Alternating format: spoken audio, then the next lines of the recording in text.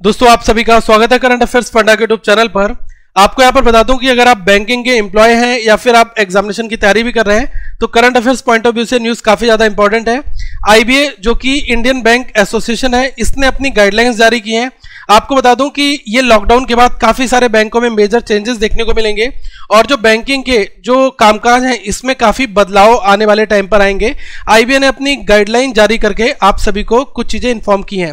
तो यहाँ पर मैं बता दूँ कि जो इंडियन बैंक एसोसिएशन है, ये दोस्तों एक तरीके की रिप्रेजेंटेटिव बॉडी है। जो कि भारत के अंदर जो बैंकिंग ऑपरेशंस होते हैं, इन सभी को ये हैंडल करती है।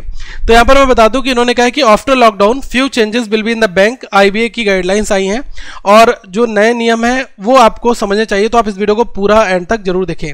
तो यहाँ पर पोस्ट लॉकडाउन एडवाइजरी जो है बैंक लिए जारी की गई है।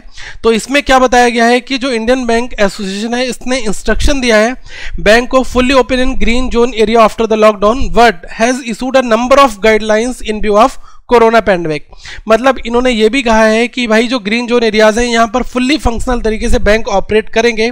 लेकिन जो कोरोना वायरस है, इसके कारण हम कुछ अपनी गाइडलाइंस जारी कर रहे हैं, इनको आपको फॉलो करना होगा और ये निर्देश आपको मानना पड़ेगा। तो स्टेट बैंक ऑफ़ इंडिया ने अपनी शाखाओं में इस तरीके का नोटिफिकेशन सर्कुलर जारी कर दिया है और बाकी ब्रांचेस भी आने वाले टाइम पर इसके ऊपर अमल करके इसको जारी कर देंगी। एक चीज़ आपके लिए और बता दूँ कि जो आईबी है इंडियन बैंक एसोसिएशन ये दोस्तों कब एग्जिस्टेंस में आया था? ये आया था दोस्तों 26 सितंबर 1946 तब से चला रहा है। तो जितने भी बैंक में बड़े मुद्दे होते हैं, वो सारे के सारे इसी ऑर्गेनाइजेशन के द्वारा जो है सुलझाए जाते हैं। यहाँ पर आपको यह भी समझना पड़ेगा कि पहले फाइनेंस ऑडिट केवल होता था, लेकिन अब एक तरीके से कोविड 19 की वजह से कोविड 19 ऑडिट भी दोस्तों हमें देखने को मिलेगा। तो इसका मतलब यह है कि फाइनेंस ऑडिट के साथ साथ में कोविड 19 ये ऑडिट देने का भी एक फरमान जो है आपको दे दिया गया है। अब इसमें बेसिकली क्या होगा कि जो भी बैंक हैं, वो सुरक्षा कारणों से किस किस तरीके से तैयार हैं, क्या वो कोविड 19 के मेजर्स का पालन कर रहे हैं या नहीं कर रहे हैं, इसके लिए एक चार सदस्यीय फोर सीनियर ऑफिशियल्स का एक पैनल एक टीम बनाई जाएगी। वो इन सारी चीज़ों को मॉनिटर करेगी ओके एक चीज़ इन्होंने और भी कहा है कि पहले आपको पता है कि फिंगरप्रिंट से जो है आपका लॉगिन होता था बैंक में अटेंडेंस का। तो इस प्रोसेस को अभी के लिए बंद कर दिया गया है और जो भी आपके पास, जो आपका टचलेस प्रक्रिया है जो आर एफ़ टैग है, इससे आपकी अटेंडेंस दर्ज हो जाएगी, ठीक है? तो जैसे आप देखते नहीं है कि मेट्रो कार्ड के थ्रू आप अंदर एंट्री कर ले जाते हैं तो वहाँ पर भी आर एफ़ टैग के थ्रू ही गेट ओपन ऑटोमेटिकली क्लोज होते हैं तो वहाँ पर भी वो चीज़ मॉनिटर होती है। और दूसरा हम देख सकते हैं कि हम कभी मॉल वगैरह में जाते हैं तो हमने कोई कपड़ा, कोई टी शर्ट कोई पैंट पैजामा समथिंग कुछ खरीदा तो जब उसके अंदर एक जो लेबल लगा होता है, एक जो है छोटा सा प्लास्टिक का जो टुकड़ा लगा हुआ होता है तो उसमें भी दोस्तों यही सेम कंसेप्ट होता है। तो आप विदाउट उसको निकाले हुए बाहर नहीं निकल सकते, वो चीज़ें वहाँ पर मॉनिटर होती हैं। तो इसमें क्या है कि कॉन्टेक्ट का कोई सीन नहीं होगा ओके और इसमें क्या होगा कि पूरी तरीके से R F I D tag के थ्रू जब आपकी एंट्री होगी तो यहाँ पर जो टचलेस प्रोसेस है, इसको पूरी तरीके से प्रधानता दी जा रही है। मतलब कि आपको इन सब चीज़ों का ध्यान देना है कोरोना वायरस की वजह से, ठीक है? और आपकी अटेंडेंस जो है वो ऑटोमेटिकली मेजर हो जाएगी। इसके लिए बैंक अपनी पूरी तरीके से प्रबंध कर रहा है। और एक चीज़ और है कि इन्होंने जो वर्क फ्रॉम होम है, इसका कंसेप्ट भी जारी किया है कि आने वाले दिनों में वर्क फ्रॉम होम भी हमें देखने को मिल सकता है। क्योंकि दोस्तों, ये जो कोरोना वायरस है, ये इतनी आसानी से जल्दी जाने वाला नहीं है। इसमें थोड़ा सा टाइम लगेगा तो ये चीज़ बहुत अच्छी तरीके से आप इसको समझ सकते हैं। इन्होंने ये भी कहा है कि जो कैश ट्रांजेक्शन है, ये तो आपके ब्रांच में ही होंगे, लेकिन इसके अलावा कुछ और भी ऑपरेशन हैं तो वो आपके सिस्टम के थ्रू वर्क फ्रॉम होम में जो है हो सकते हैं। तो अभी स्टार्टिंग में ऐसे कामों के लिए जो है वर्क फ्रॉम होम की सुविधा दी जाएगी। और जो इसकी शुरुआत है, जो सीनियर ऑफिसर्स हैं, ठीक है, इनके द्वारा इसको किया जाएगा, ओके। और यूपी बैंक एम्प्लॉय जो यूनियन मिनिस्टर हैं, इन्होंने, रजनीश गुप्ता, इन्होंने कहा है कि the guidelines are good, but in practice it will be a big challenge. मतलब इनका हमें पालन करना, ठीक है, वो काफ़ी चैलेंजेस भरा रहने वाला है। और मैं आपको सारी गाइडलाइंस अभी बताऊँगा लास्ट में।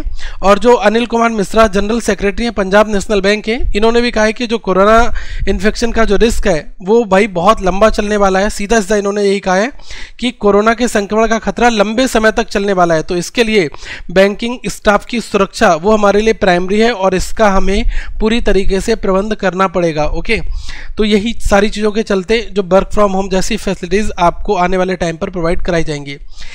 तो दोस्तों, जो आई के रिकमेंडेशन पर जो रूल है, वो मैं आपको यहाँ पर बताना चाहूँगा। इन्होंने कहा है कि अवॉइड मीटिंग्स मतलब जो अभी कॉर्पोरेट मीटिंग्स वगैरह हैं, इनको पूरी तरीके से अवॉइड कर दिया जाए। और ये भी कहा गया कि एक दूसरे के केबिन में नहीं जाएँगे एम्प्लॉय मतलब जैसे कोई बड़ी ब्रांच है हेड ऑफ़िस की ब्रांच है, वहाँ काफ़ी सारे एम्प्लॉय होंगे तो इस वजह से ये कहा गया है ताकि संक्रमण ना फैल पाए और कोई भी इसके चांसेस ना हो।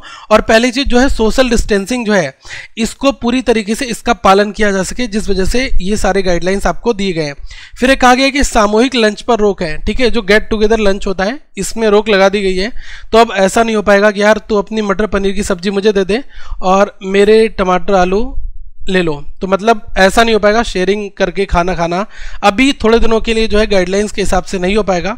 इसके लिए आपको अपना प्रबंध खुद से ही करना होगा और जो भी आ, कैंटीन कैफेटेरिया हैं दोस्तों इनको अभी बंद किया जाएगा। ये अभी ओपन नहीं होंगे ठीक है? तो जो कैंटीन है ये भी अभी बंद रहेंगी। ये आने वाले दिनों में ओपन नहीं होंगी तो आपको लंच अपना खुद से ही लेकर आना होगा। और किसी भी पर्सन की स्क्रीनिंग विदाउट जो स्क्रीनिंग एंट्री होगी, ठीक है, वो विदाउट स्क्रीनिंग नहीं होगी। तो ये चीज़ यहाँ पर बताई गई कि पहले स्क्रीनिंग होगी तो वही थर्मल स्कैनर समथिंग है कि जिससे टेम्परेचर कंट्रोल वगैरह पता चलेगी कितना टेम्परेचर है, और भी बहुत सारी चीज़ें यहाँ पर कही गई हैं। सैनिटाइजेशन के प्रोसेस पर काफ़ी ज़्यादा ध्यान दिया जा रहा है कि मतलब ये भी कहा गया है गाइडलाइंस में कि अगर आप बैंक आ रहे हैं तो आप अपने व्हीकल से हैं, वो ज़्यादा अच्छा है पब्लिक ट्रांसपोर्ट को बिल्कुल भी यूज़ नहीं करेंगे। आने वाले दिनों के लिए ये कहा गया है, अभी तो वैसे भी सब कुछ बंद चल रहा है, लेकिन ये कहा गया है कि आप कोशिश करके अपने बाइक अपने व्हीकल से आएँ। तो ज़्यादा ये फ़ायदेमंद रहेगा। और गेट पर ही काफ़ी तरीके से सैनिटेशन के प्रोसेस जो है बनाए गए हैं। और आपके लिए जो है प्रॉपर पानी, साबुन वॉशेशन इन सब चीज़ों की व्यवस्था जो है एंट्री गेट पर ही कर दी जाएगी ओके एक बहुत बड़ी चीज़ ये कही गई है कि ई कॉपी प्रेफरेबल होगी। मतलब ये कहा जाए कि जो भी आप देखते हैं कि बैंक का कामकाज है तो मैनुअल फॉर्म वगैरह इनके लेन देन पर जो है मना किया गया है कि आप इनको अवॉइड करें।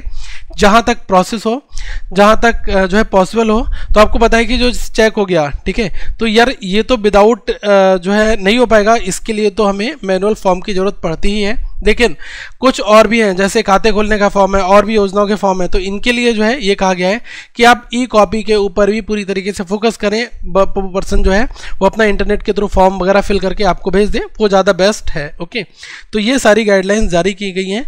तो कहीं ना कहीं पर दोस्तों अगर आप ये समझें कि आने वाले टाइम पर जो मेज़र्स हैं, वो काफ़ी हार्ड लिए गए हैं और जो बैंकिंग एम्प्लॉय हैं, ये भी अपने आप में काफ़ी बड़ा काम कर रहे हैं। आपको पता है कि जिस तरीके से हेल्थ वर्कर्स हमारी सोसाइटी के लिए काफ़ी बड़ा काम कर रहे हैं, या फिर पुलिस हो गई, या फिर और भी जो स्टाफ हो गया, उसके अलावा जो बैंकिंग सर्विसेज़ हैं ये भी अपने आप में बहुत ज़्यादा बड़ा काम ये भी कर रहे हैं, ओके? आपको पता है कि कोई भी गवर्नमेंट की स्कीम होती है कि अगर किसी के खाते में पाँच सौ, हज़ार रुपये जो भी आए तो इनको लेने के लिए पर्सन तो बैंक जाएगा, और बैंक में भी आपको पता है कितनी ज़्यादा भीड़ लगती है।